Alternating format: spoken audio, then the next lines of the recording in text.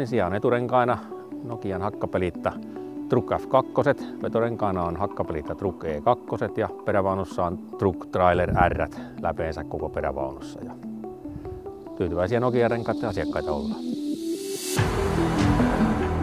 Kalustoa tosiaan on vajaa parikymmentä raskasta autoa. Niistä on suurin osa puutavarayhdistelmiä ja sitten on lavetteja, millä kuljetaan metsäkoneita paikasta toiseen ja yksi sora-auto löytyy. Sitten on metsäkonepuolella, niin siellä on reilu parikymmentä metsäkonetta, sekä harvestereita että kuormatraktoreita ja kolmelle eri asiakkaalle täällä Suomessa. Ja metsä, metsäteollisuuden metsäteollisuusyritykset on meidän asiakkaita. Viikko sitten tuli uudet renkaat autoon ja perävaunuun. Auto muuttu ajettavuudeltaan tuossa ainakin maantiellä selkeästi vakaammaksi.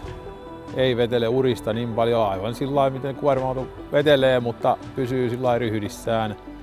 Tämä on maantieoloissa hyvä ja eikä pahaa sanottavaa tuo maastooloissakaan on mäkisiä ja mutkia, mutkasten tietten takaa on tullut paljon ajettua ja eteenpäin ja sivulle on pito kyllä varmasti riittävä. Että ei voi kyllä moittia.